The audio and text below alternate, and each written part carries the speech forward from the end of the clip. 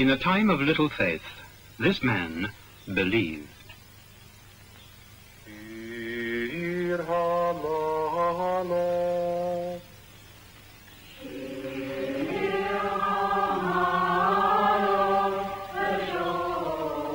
The substance of his belief was that to grow to be a whole man, a boy must have his roots in faith. And on this he founded a school.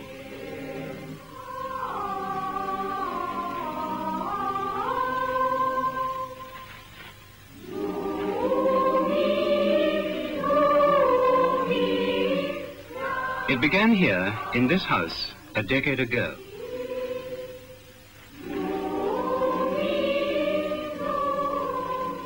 And the old house welcomed the young ones who came to it.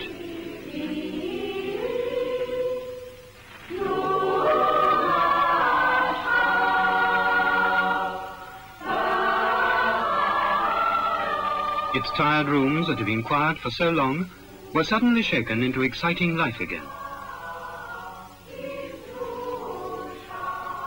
And the Rabbi Rosen, with love and wisdom and devotion, breathed a spirit into his school.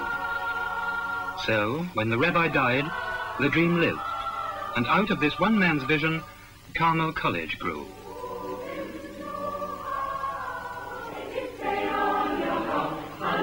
Those who followed on moved on, and around the warm heart of the old house, the new school buildings have risen.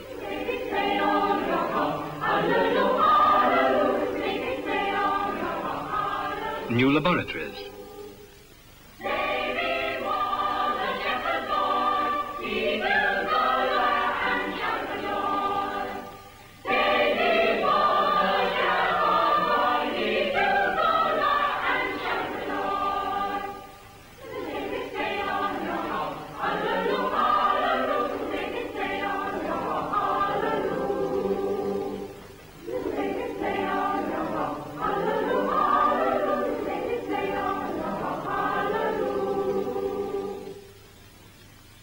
and new classrooms too, built in the knowledge that the first step to enlightenment is light, and that horizons are ultimately broader if you start from a basis of space. To the new art room at Carmel, the boys come in their own time, of their own choice. You cannot sit a boy down, says David Stamler, headmaster of Carmel, and demand that he paint a picture. And so during all free time, the art master is here available to instruct and advise all those who come of their own free will.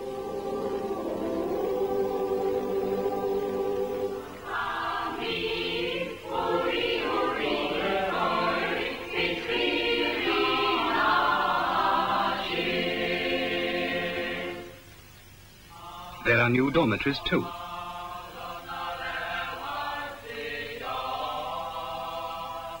All these donated by those with vision clear enough to see ahead along the path that the Rabbi Rosen pointed out. The newest of these is the Sacker House, living quarters of the senior boys, with studies for sixth formers, two to each room. Houses, too, have been built at Carmel to be homes for those who work and teach here, and others are planned. Planned in the belief that to obtain the best, you must first offer the best. So that the classrooms and the dormitories and the homes can grow, the land must first be ploughed up a little. But already the landscapers are at work, and soon the scars will be healed over, and in the final phase of its development, Carmel will stand proud out of a lovely garden.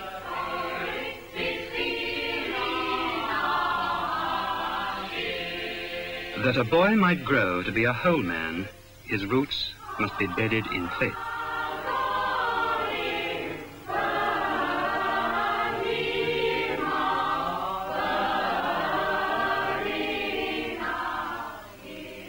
But faith and knowledge are not the perquisites of privilege. Carmel's lap is wider than this. What began as an experiment is now the reality, and if the reality is to continue in the image and likeness of Rabbi Rosen's dream, Carmel must continue to be a place to which all boys may come.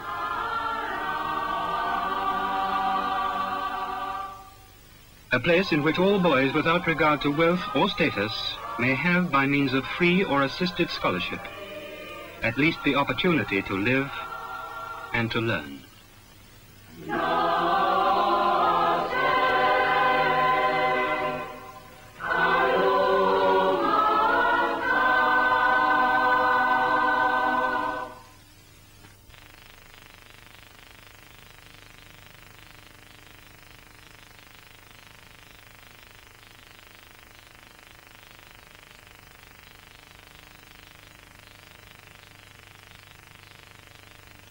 Carmel College is a school. It is a boys' public school. Carmel is rather special.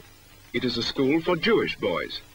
It has taken the best of the English public school system and linked it with the best of the Jewish pioneering spirit and sense of community. The result is Carmel College. Some years ago, the principal, Rabbi Kopul Rosen, fired enough people with the idea of starting a public school for Jewish boys that they were able to open in this building. Surrounding them were ex-RAF huts, which we used for classrooms. The school started as a wonderful idea. Some would say an ideal. Carmel College has grown in only 13 years, so that it is now a school for 300 boys from all over the world.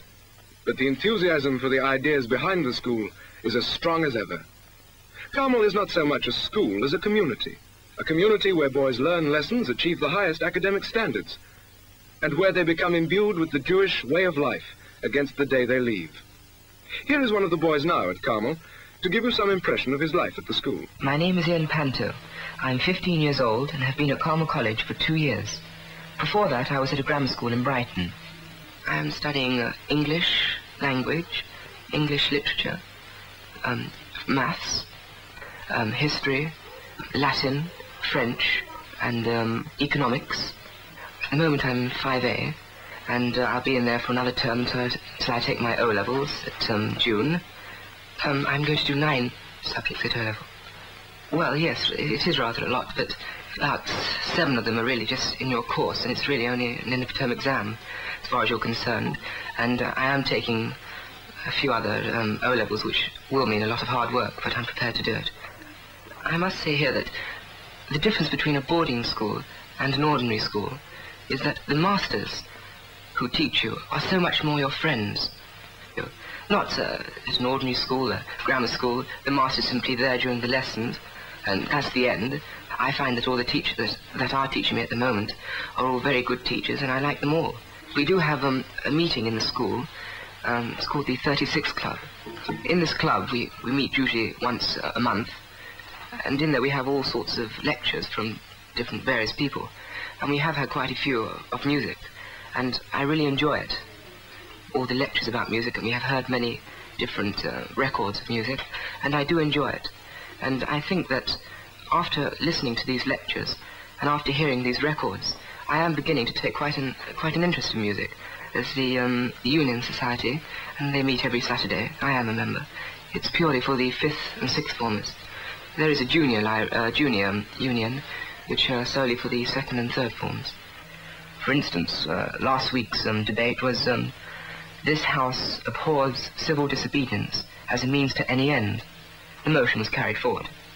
The library is excellent, and there's got the fiction library and the reference library, and the reference library is kept on silence the whole time, and if one wants to work, one can work there, and the books there are, are really good. I mean, you've got the history books, English books, any book which you need is in the library. And the fiction books are also quite a large um, number of them are in the library. It's really an excellent library.